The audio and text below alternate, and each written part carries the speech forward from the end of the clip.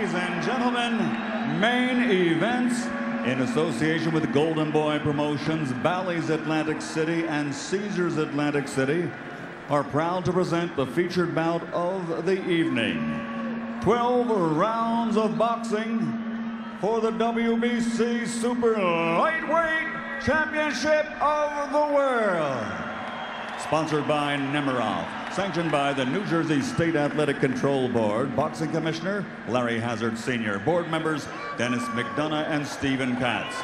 At ringside, the three judges scoring this contest will be Guido Cavalieri, Julie Lederman, and John Stewart.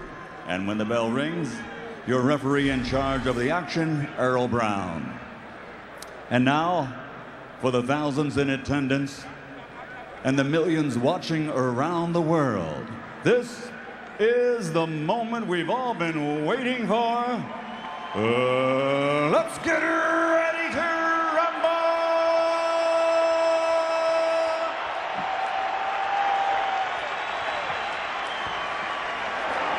Introducing first, fighting out of the blue corner, wearing black, official weight, 140 pounds a veteran of 55 professional bouts, 47 victories, including 19 knockouts, with six defeats, two bouts even, and one no contest.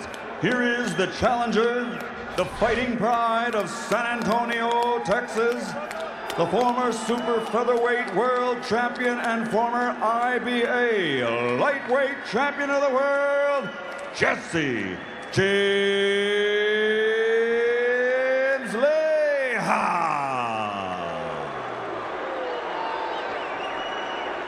And his opponent across the ring fighting out of the red corner, wearing white with blue, official weight 140 pounds, professional record 38 victories, including 29 knockouts, with six defeats. From Jersey City, New Jersey, the ultimate blood and guts warrior, the two-time world champion, the reigning, defending WBC Super Lightweight Champion of the World, Arturo Thunder Gatti.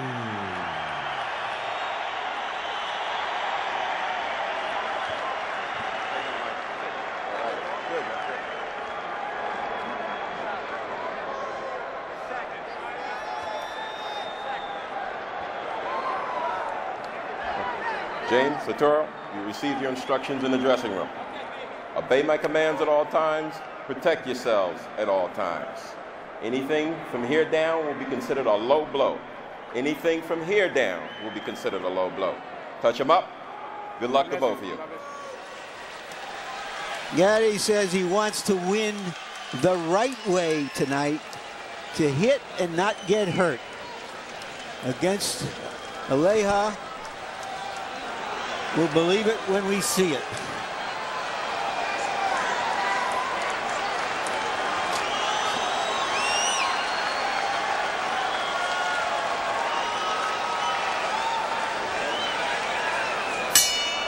We believe the warrior tattoo on Arturo Gatti's tummy is a new one.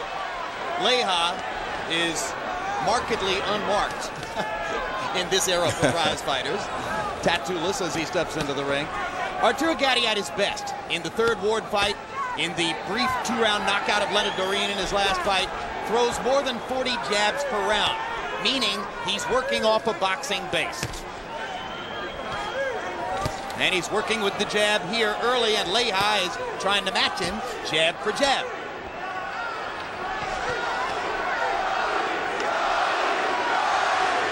Crowd begins to chant immediately for the love of their lives. That's what they came here to see, Jim. Arturo Thunder Gatti. And if they want to see him in one of his legendary wars, they've got a chance tonight. We don't guarantee anything anymore. The Dorin fight looked like a can't miss fight of the year candidate, and it was over in a round and a half. Because Gatti befuddled Dorin with his boxing, and he's a bigger man. There, he rocks Leija with an uppercut that knocks James back a step or two.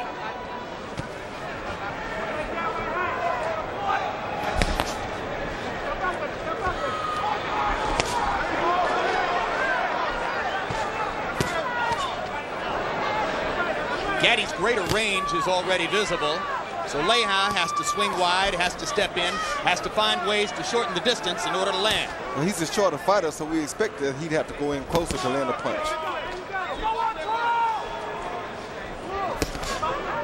Arturo sticking his jab in Leija's face.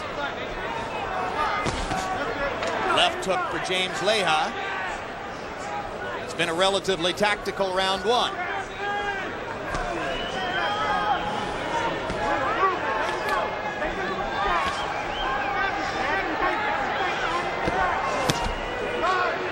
Left-hand body shot for Leija. They fought virtually the entire round at the center of the ring. James was able to get to Bojado in the middle rounds with a steady dose of overhand rights. He's hoping the same punch can work here. Gatti's been susceptible to right hands from some opponents in the past. Good, solid jab for Gatti as Leija was walking in. And Leija has landed one of those overhand rights already tonight. It's just a matter of time for him to see how long can he touch David Banner before he makes him change into the incredible Hulk. There's the right hand by Leija. You see he throws it in an overhand arc. Good uppercut by Gatti. Once again, stuffs Leija backward.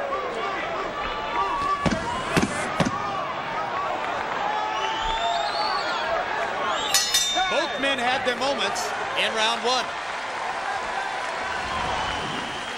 And now, you know you're trying to get the right hand in. So just step around to your right. Keep going to your right. The uppercuts are working beautiful, baby. Very good. Nice deep breath. Now, sometimes I want you to do this. Feint the jab, then jab. Because what he's doing, he's trying to jab when you jab. So feint the jab sometime, then when he commits, you jab. And step around to your right. Walk away from the right hand.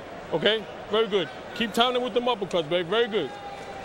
The jab and the lock, you got to edge your face because you see he's trying to come over the top Okay, okay. with the right hand. And he's leading off with the uppercut, okay? okay, okay. So listen, watch your face. When you see the uppercut coming, just turn and shoot yours. Okay, Okay? Because it's right there. All right? Well, that's good. Hey, everything else looks good, though, okay? All right. That was a good round, all right? We're not going to worry about that first round, okay? Now we got to pick it up a little bit. Pick it up a little bit for me, all right? If Leija is going to steal Thunder's thunder, he's going to have to get closer, fight him on the inside. And just to show you how pronounced has been Gatti's move toward more boxing under Buddy McGirt, in round one he threw 54 jabs, landed 14 of them. So Gatti's become a jab machine, Roy. A beautiful jab machine, and I just love to see him when he boxes like this. Boxing like this, he can he has a chance of beating anybody. The only problem that he has is he has to make sure that he doesn't let himself get tricked into a war or make him change into the incredible Hulk again. Because this is the best boxing I've seen from Gatti. Buddy McGirt's first fight with Arturo Gatti was Gatti against Terron Millett in 2002. That was in the small room at Madison Square Garden where Gatti really affected the beginnings of his comeback. He had been blown out by Oscar De La Hoya, outgunned and outsized in a previous fight. He came back knocked out Millett. And that started things under McGirt. McGirt got a lot of attention for accurately predicting to the New York writers that Gatti would drop Millett with the right hand in the fourth round, and he did it. Hard right hand by Leija there. And you heard both corners talking between rounds about that's what Jesse wants to do, get in that overhand right. And he lands it again. Good left by Jet Gatti as Leija was stepping in one more time to try to throw the right. And the one good thing for Gatti is I'm sure he's above 150 pounds right now. And that will enable him to take those punches a little bit better because he's definitely the bigger fighter here.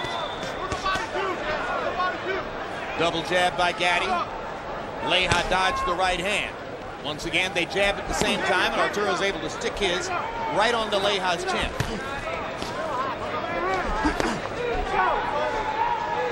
Buddy McGirt instantly spotted that Leija wants to jab when Gatti jabs, told him, feint the jab, make him throw his, then step around it.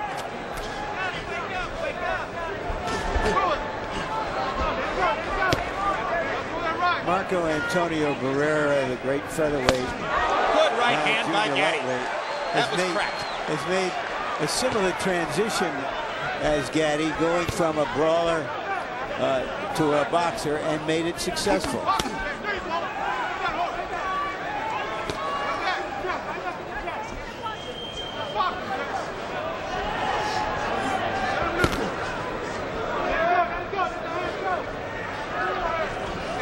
Crowd very quiet. Didn't come here for a sparring session. And the good thing to see is that to show you that Gatti, I mean that uh, Leija is not here to lay down. He just took a beautiful right hand from Gatti early in the round that should have laid the normal 40 pounder down. Leija is given as good as he gets here in this second round. He's found chances to land both his right hand and his left hook, just as Gatti has landed some sharp right hands in addition to his jab. Good fight. But it's a boxing match, not a brawl. Good Yeah. body You Set him up beautiful, baby. Nice deep breath. Nice deep breath. Relax, very good. Now let's go with the double jabs now. Double jab. Let's start putting some more body shots together. Don't have to be hard, just fast shots. Okay? Now keep stepping to your right because he's throwing that right hand. Okay, so double jab, then step around. Okay, very good, baby. Beautiful. Beautiful, baby. Okay? Because it's going to be there for you. He don't, he ain't going to see it coming.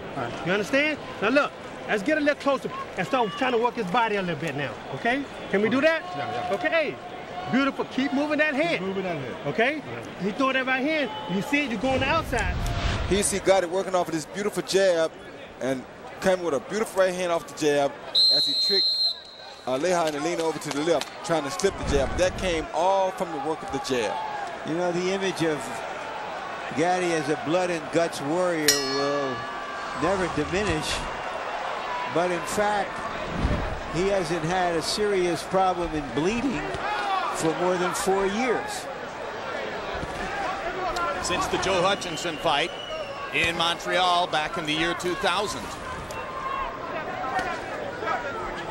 Power punches through the first two rounds, Leija has landed more. And that's because Gatti has been so Don't punch it. almost punch. Totally focused Back on the up, back jab. up, back up, back up. He's landed 34 jabs in the first two rounds. I wonder how long Gatti's fans will stay in love with Arturo Gatti, the pure boxer. Probably as long as he keeps winning, it's okay. And as long as he pulls knockouts out the head at the end of the night, they're happy. They don't care how he got there.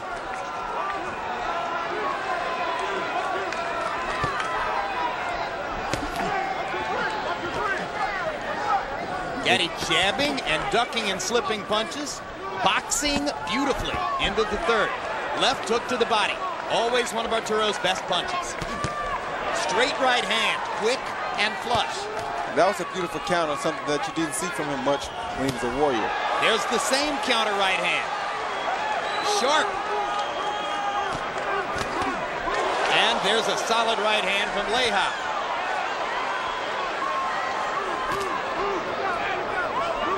And Leija is a true veteran of the game, even at 38 years old.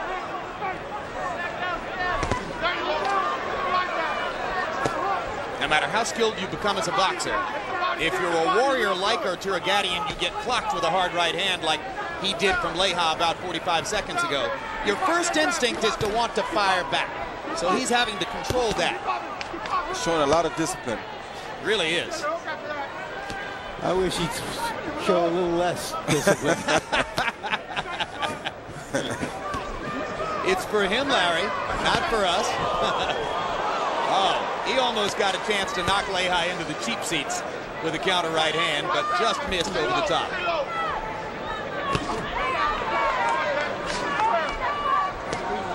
But Arturo has been so accurate in this third round that Leija has had few chances. He's been on the defensive against a guy who is putting his punches together pretty well. That jab is starting to bother Leija now.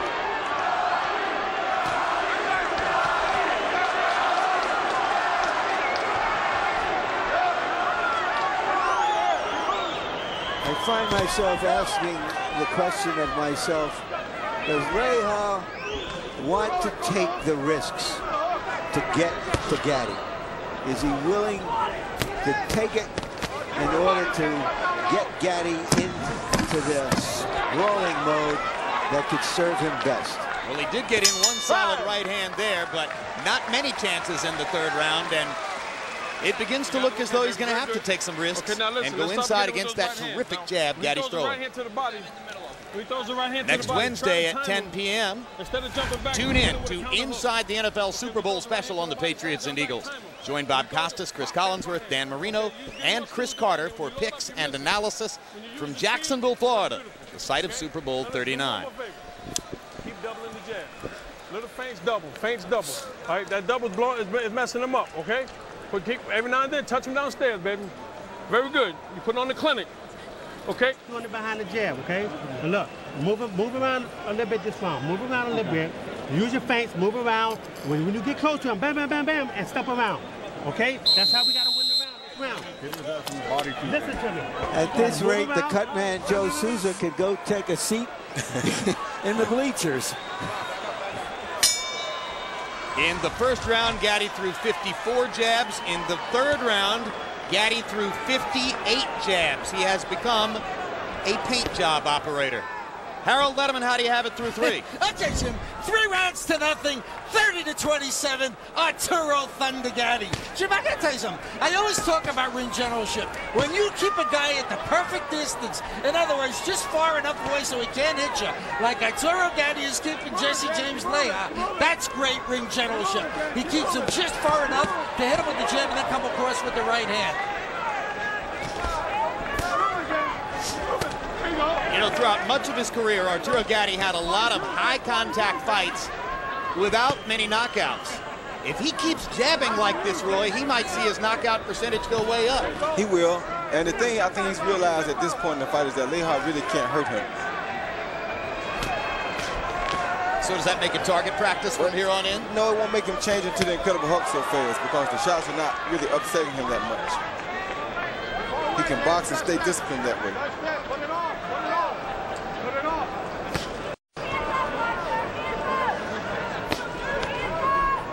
He is a beautiful specimen when he boxes. I'd rather see him fight like this all his, all his career. Well, early in his career, this was the way he fought. He outdueled Tracy Harris Patterson, who was a brilliant boxer, uh, over the course of 12 terrific rounds. And, and a lot of people didn't notice because that came at the same time as his all-out wars with Wilson Rodriguez and a couple of other fighters, that Arturo was really capable of doing that. And, and in the eyes of many, maybe he forgot it too. Well, one, one thing you know, Jim, that when he starts fighting elite fighters, if he gets past this fight, he always can reach down and reach back for the warrior in him. That will never leave him. And once he realized how much the fans liked it, I think it turned him on even more. But you, you still have to think that one punch here could change matters with a cut or uh, some other happenstance. Gatti lands a right uppercut and a solid left hook, backing Leija away. Leija is getting in the occasional right hand, the occasional left to the body, but mostly one punch at a time for James. Break, break, don't punch. Chopping right hand there. Gatti, landing the jab over and over, is able to land some interesting combinations like that. Left hook to the body, left hook upstairs. A good shot. Right to the body, left hook. Gatti showing a lot of game. Whole lot of game. Dominating the fight.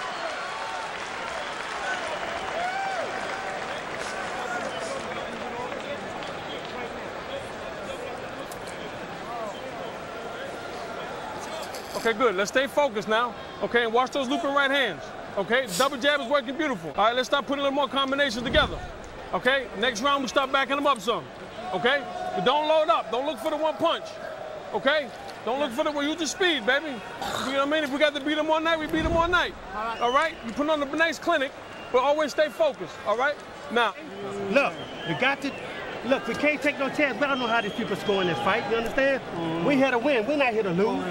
Look, we gotta we gotta hurt this man now, okay? I want you to hurt this man. I want you to get close to him with five, six, seven punches at a time. Stepping around, don't get up high. Take the chance right there. Ronnie Shields telling Leija if he's going to win the fight, right now he's got to start attacking. We'll see if Leija has the will to go in and attack against a bigger Arturo Gatti, who's been able to hit him freely so far in the fight. He definitely won't win stand outside of his jab, so he needs to go in and work the body more to try to lessen Gatti's power and get Gatti into those one of those brawling fights that Gatti likes to fight. That's his only chance because he's not going to win this fight. What a right hand. And this is what I mean by if he keeps jabbing, his knockout percentage will go up. Leija had no chance to see the right hand because the jab has been in his face all night. Back to the corner. Back to the corner. You all right? Where you at? Where you at? Mm-hmm. Come on, step to me. Step to me. Back up, back up. Go.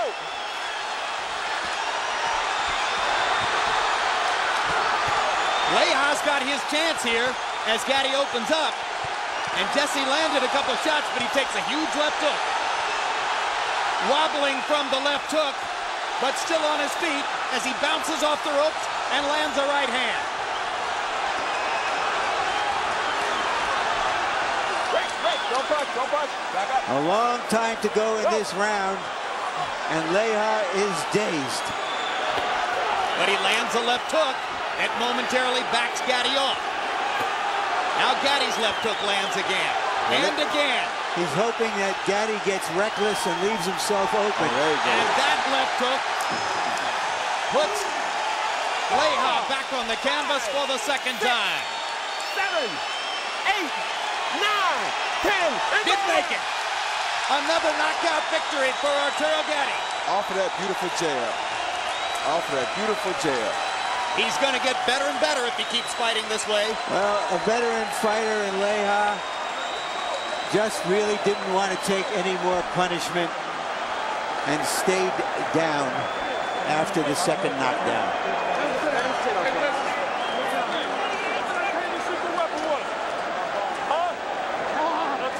Roy Jones pointed out the moment at which it had become clear that Leija couldn't hurt Gatti.